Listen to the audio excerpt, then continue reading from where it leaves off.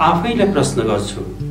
आफैलाई प्रश्न गर्छु यो जिन्दगी नपाएको भए म कहाँ हुन्थेँ?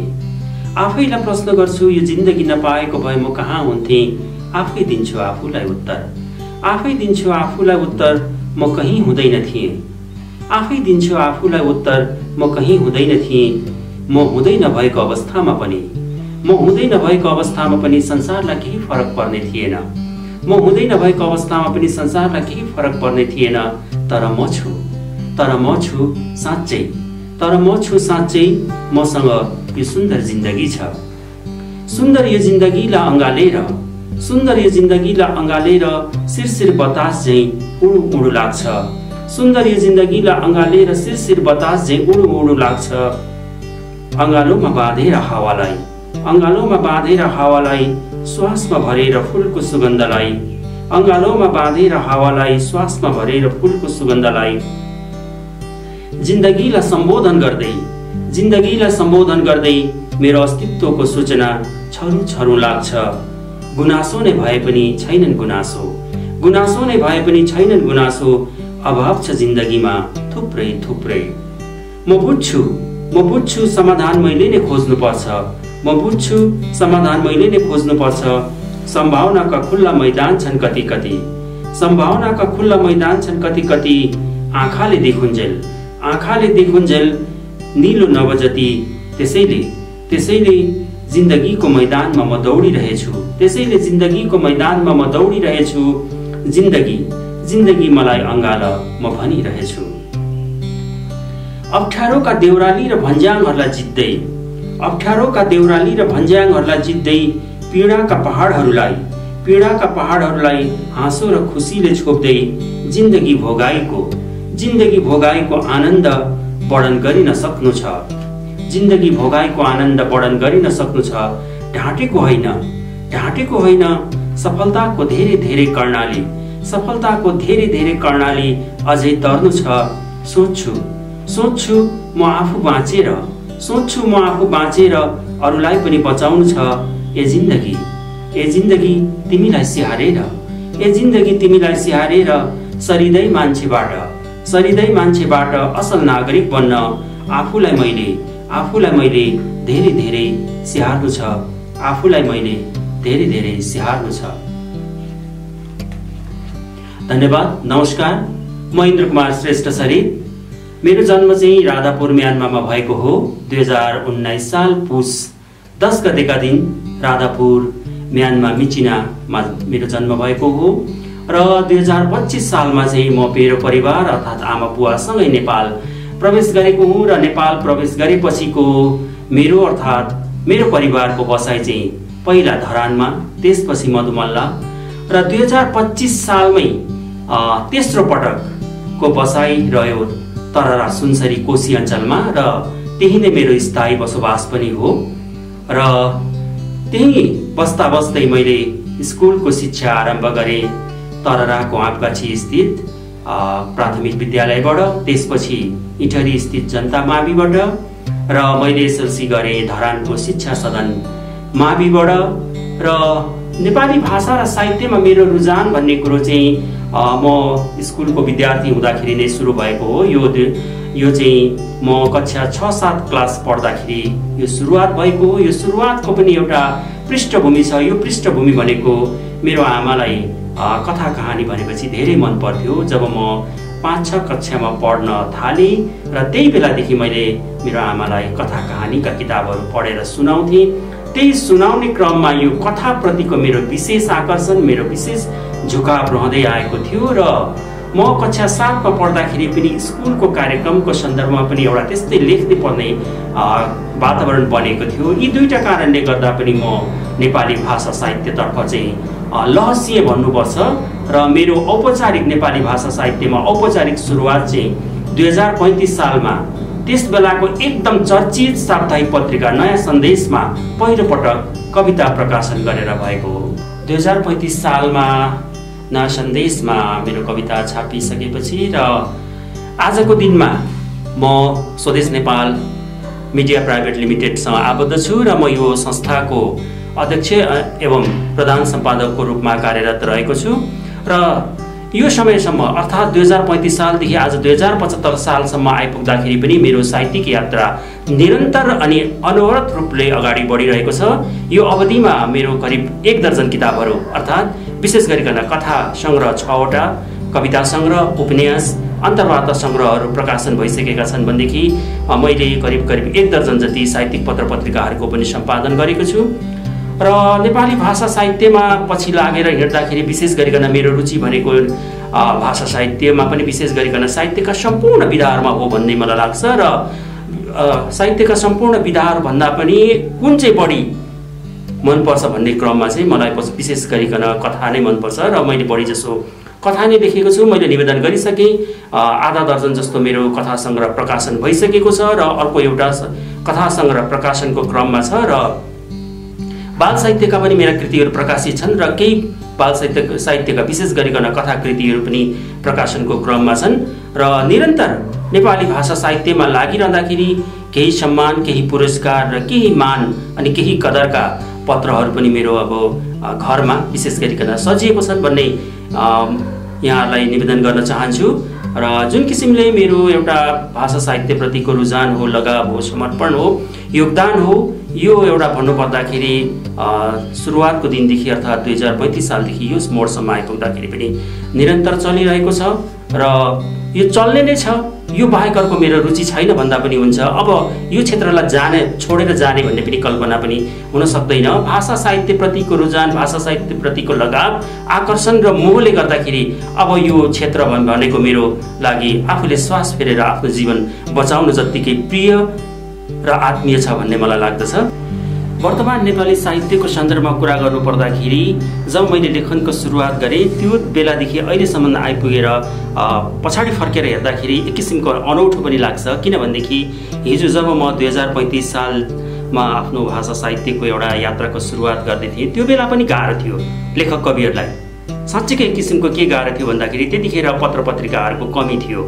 सीमित पत्र पत्रिकाहरू सीमित माध्यम रेडियो नेपाल थियो। त्यसमा अटाउनलाई पनि गाह्रो गाह्रो थियो भनेदेखि आज विज्ञान र प्रविधिले प्रगति गरेर यतिका सुविधाहरू भएको छ प्रकाशनको निम्ति अनलाइनदेखि लिएर हरेक कुराहरूको। तर पनि आज पनि गाह्रो छ साँच्चै बसेर लेख्नेलाई। किनभनेदेखि मेन स्ट्रिमका पत्र पत्रिकाहरूले साँच्चीकै सरस्वतीको उपासकहरूलाई खोजेको जस्तो मलाई चाहिँ लाग्दैन। लाग्दैन र मेरो सन्दर्भमा कुरा गर्नु पर्दाखेरि दुई हजार पैँतिस सालदेखि दुई हजार पचहत्तरसम्म आइपुग्दाखेरि पनि समीक्षक र समालोचकहरूको मेरो कृतिहरूमाथि चाहिँ त्यति ध्यान पुगेको जस्तो मलाई लाग्दैन। र पछिल्लो समयमा आएर त एउटा के भनेदेखि भाषा साहित्यमा प्र प्रति समर्पित भएर आजीवन लगानी गर्ने मान्छेहरू होइन जो चाहिँ दुईवटा चारवटा रचनाहरू फुटकर रचनाहरू लेखेर चाहिँ हल्ला गर्न सक्षम हुन्छन् अथवा हल्ला गर्न जान्दछन् उनीहरूको चाहिँ बढी चर्चा उनीहरूको बढी खोजी हुने एउटा विडम्बना देखिएको छ। र सँगसँगै अहिले त मान पुरस्कार पनि लेना र देना एक हात से देना एक हात से लेना भन्ने एउटा हज हल्लाले बजार तातिएको छ। त्यो देखिएको पनि छ।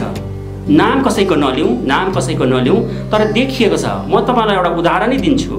राजधानीमा केही दिन अगाडि मात्रै र एउटा पुरस्कार समारोह सम्पन्न भयो। केही साहित्यिक र साहित्य बाहेक अन्य क्षेत्रका व्यक्तिहरू पनि सम्मानित भए। तर त्यसको दुई दिन पछाडि नै त्यही संस्थासँग आबद्ध व्यक्तित्वलाई तुरुन्तै राजधानीभन्दा बाहिर लगेर सम्मानित गरियो। सम्मानित गर्नु हुँदैन भन्न खोजेको होइन। तर यस्तो देखादेखि लेना र देना गर्ने हो भनेदेखि त जसले चाहिँ भाषा र साहित्यलाई एउटा पूजा गर्छन् अर्चना गर्छन् र उनीहरू धाउँदैनन् कतै बिन्ती बिसाउँदैनन् हजुर मैले यो पाऊँ भनेर उनीहरूको मूल्याङ्कन कहिले हुने त?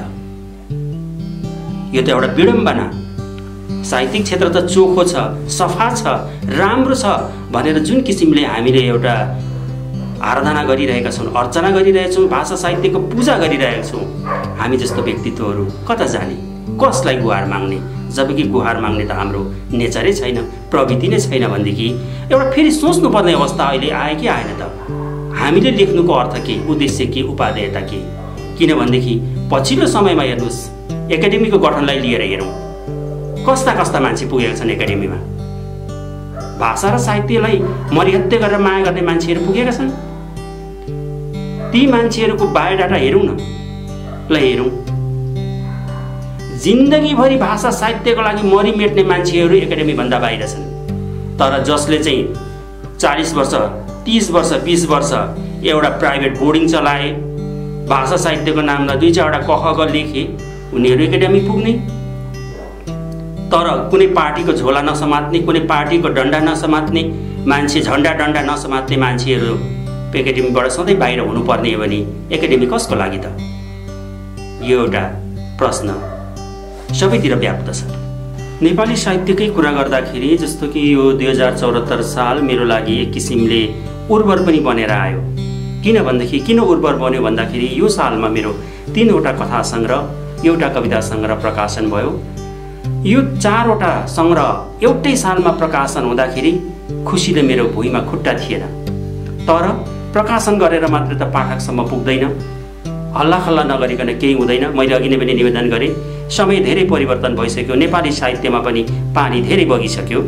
र यही क्रममा चाहिँ जस्तो मेरो तिनवटा कथा सङ्ग्रहमा एउटा साझा प्रकाशनबाट एउटा रत्न पुस्तक भण्डारबाट एउटा तन्नेरी प्रकाशनबाट र एउटा चाहिँ कौशिकी पत्रिकाले प्रकाशन गरिदिएको हो। र विशेष गरिकन म यहाँ उल्लेख गर्न चाहन्छु रत्न पुस्तक भण्डारबाट प्रकाशन भएको मेरो कथा सङ्ग्रह ऋतु फेरिँदै जान्छ।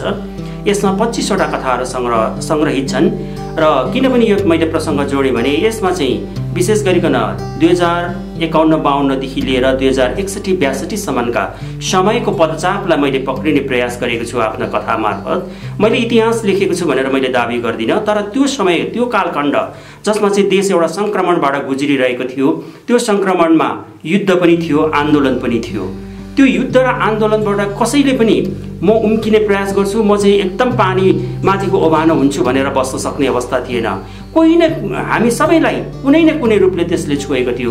कसैलाई प्रत्यक्ष कसैलाई अप्रत्यक्ष कसैलाई धेरै कसैलाई धेर थोरै। यही कृतिको सन्दर्भमा चाहिँ म के चाहन्थेँ भनेदेखि यो कृति आम पाठकसम्म पुगोस्। किनभनेदेखि दुई हजार एकसठी ब्यासठी पछाडि अहिले दुई हजार पचहत्तरसम्म आइपुग्दाखेरि एकसठी ब्यासठीमा जन्मेको बच्चाहरू पन्ध्र सोह्र वर्षको भइसक्यो। अब उनीहरूलाई एकसठी ब्यासठीको आन्दोलनको जनयुद्धको चरम रूप र आन्दोलन उन्नाइस दिने आन्दोलनको चरम रूपको बारेमा कुरा गरियो भनेदेखि उनीहरूले ए हो र? त्यस्तो पनि भएको थियो र? भन्ने अवस्था भइसक्यो। त्यसैले त्यो समयलाई लिपिबद्ध गरेर आफ्ना कथा मार्फत आख्यान मार्फत चाहिँ मैले एउटा समाजलाई एउटा उपहार दिन चाहेको थिएँ र चाहेको थिएँ चारवटा नभए तापनि कमसेकम यो कृतिको मेरो चर्चा होस्। मैले कति सही लेखेँ र कतिसम्म चाहिँ मैले समाजको चित्रण चाहिँ गर्न सकेँ। एउटा समीक्षक समालोचक पाठकहरूको पनि प्रतिक्रिया आउन् भन्ने मलाई चाहना थियो र यसको प्रकाशकले पनि करिब नेपालका नाम चलेका पत्र पत्रिका साहित्यिकदेखि लिएर दैनिकदेखि लिएर साप्ताहिकदेखि लिएर डेढ दर्जनभन्दा बढीमा चाहिँ यसको समीक्षाको लागि पुस्तक परिचयको लागि पठाउनु भयो। तर दुर्भाग्य मेरो मेरो दुर्भाग्य भन्नुपर्छ नेपाली साहित्यको त नभनौँ मेरो दुर्भाग्य एउटा पत्र पत्रिकामा पनि यसको चर्चा परिचर्चा कतै केही भएन। मान पुरस्कार प्रतिष्ठाको त कुरै छोडिदिनुहोस्। कहीँ कतै चर्चा भएन कहीँ एउटा मूल्याङ्कनको मुसम्म पनि आएन। त्यस पछाडि त्यो बाहेक बरु दुई चारजना साथीहरू जसले चाहिँ मेरो रचना मन पराउनुहुन्छ मेरो सिर्जना मन पराउनुहुन्छ ए उसको कृति यस्तो निस्किएको रहेछ यसको त चर्चा हुनुपर्छ भन्ने लाग्यो। उहाँहरूले फाट फाट फुट्ट फुटकर रूपमा केही चर्चा गरिदिनु भयो केही लेखिदिनु भयो उहाँहरूप्रति म आभारी छु। र यो छ नेपाली साहित्यको पछिल्लो अवस्था। एउटा ग्रुपमा छिरिएन भनेदेखि एउटा समूहमा आबद्ध भइदिएन भने एउटा समूहले उचालेर हाई हाई गरिदिएन भने जतिसुकै क्षमता भए पनि अगाडि आउन धेरै धेरै गाह्रो छ धेरै गा गाह्रो छ। यो भनिरहँदाखेरि मलाई साँच्चै नै दुःख लागिरहेछ साहित्यको यो सन्दर्भ साहित्यको यो यात्राको क्रममा साहित्य मेरो शिक्षा अथवा अर्थात् पढाइ र जागिर सँगसँगै जस्तो अगाडि बढेको हो। जस्तो म सानै उमेरमा अर्थात् मैले एसएलसी पनि पास नगरिकन म स्थायी जागिरमा प्रवेश गरेँ। दुई हजार अडतिस सालमा र दुई हजार अडसठी सालमा त म नियमित अवकाशतर्फ पनि गइसकेको थिएँ। तर जागिरले मेरो लेखनलाई कहिले पनि डिस्टर्ब गरेन किनभनेदेखि जागिरको निश्चित समय थियो दस पाँच त्योभन्दा अगाडि पछाडिको समय त मेरो थियो त्यो समयलाई मैले साँच्चै सदुपयोग गरेँ भन्ने मलाई लाग्छ। विशेष गरी भाषा साहित्यको सन्दर्भमा मेरा अनुभव र अनुभूतिहरूलाई प्रकटीकरण गर्नलाई मलाई मेरो जागिरले मेरो पढाइले मलाई कहिले पनि छेको जस्तो मलाई लाग्दैन। र त्यसै क्रममा सुरुवाती दिनदेखि लिएर पछिल्लो समयसम्म र अहिले पनि मलाई कथा लेखनमा सधैँ आइराख्ने एउटा नाम जसको कथा साँच्चै म रुचिले पढ्थेँ उनी भनेको पारिजात नै हुन्। पारिजातका कथाहरू म मात्रै होइन। जब मैले चाहिँ एसएलसी दिएर बसेका थिएँ मेरा ग्रुपका साथीहरू मेरो समूहका साथीहरू पनि हामी उनको एउटा कथा लिएर सँगै पढ्थ्यौँ समूहमा पढ्थ्यौँ। पढिसकेपछि आफ्नो प्रतिक्रिया व्यक्त गर्थ्यौँ मलाई यस्तो लाग्यो मलाई यस्तो लाग्यो यो पात्र यस्तो लाग्यो यो घटनाक्रम यस्तो लाग्यो भनेर हामी एक आपसमा छलफल गर्थ्यौँ। र उनका उहाँका एकभन्दा एक कथाहरू उत्कृष्ट छन् राम्रा छन् र मलाई यो भन्ने होइन मलाई उहाँका सबै कथाहरू मनपर्छन्।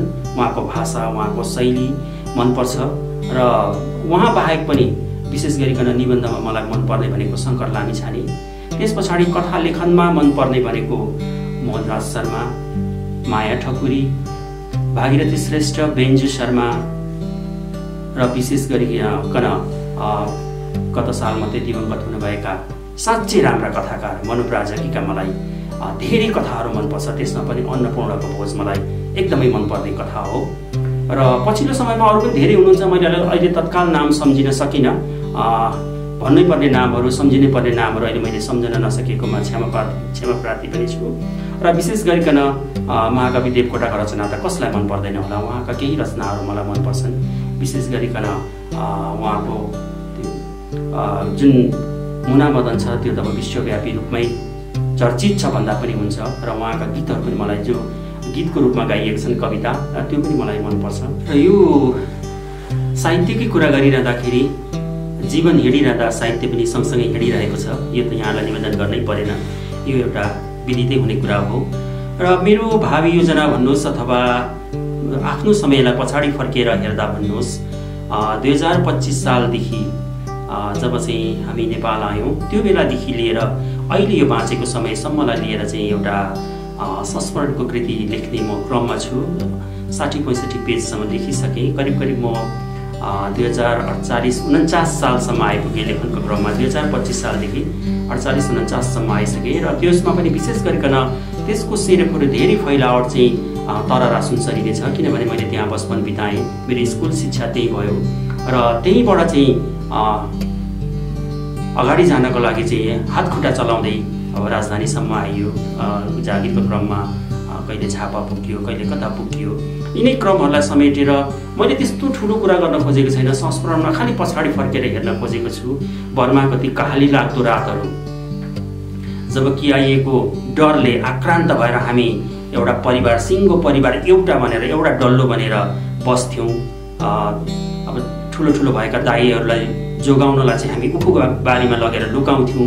ती पीडाहरू पनि त्यसमा छन् र त्यो पीडाले गर्दाखेरि पनि मैले त्यो लेखनलाई चाहिँ धेरै अगाडि लान सकिरहेको थिएन तर अब अलिकति आफैलाई सक्रिय बनाएर त्यसलाई चाहिँ सक्याउने छु आम पाठकमा आज पुर्याउने छु भन्ने सोचाइमा छु र त्यो सकाउने क्रममै करिब करिब एक दर्जन मेरा ठुलोको लागि कथाहरू र साना भाइ बहिनीको लागि कथाहरू एक दर्जन झन्डै झन्डै एक दर्जन सङ्ग्रहहरू केही मसँग छन् केही प्रकाशकमा पुगेका छन्।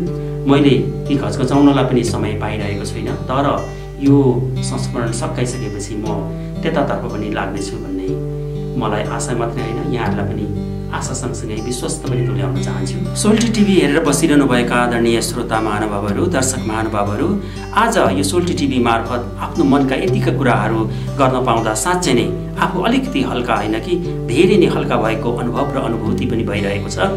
र अब यो कुराकानीको अन्तिम अन्तिममा आइपुग्दाखेरि केही भन्न अझै पनि मन लागिरहेछ त्यो भनेको के भनेदेखि नेपाली भाषा र साहित्यलाई माया गरिदिनुहोस् निष्पक्ष रूपमा माया गरिदिनुहोस्।